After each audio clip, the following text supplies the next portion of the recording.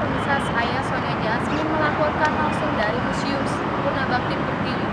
Museum Purnabakti Pertiwi yang berada di Jalan Pintu 1 Taman Mini Indonesia Jakarta ini Museum Purnabakti Pertiwi didirikan oleh Yayasan Purnabakti Pertiwi dan atas almarhumah Ibu Tin Soeharto. Museum Purnabakti Pertiwi ini diresmikan pada tanggal 23 Agustus 1993 oleh Bapak Soeharto, mantan Presiden kedua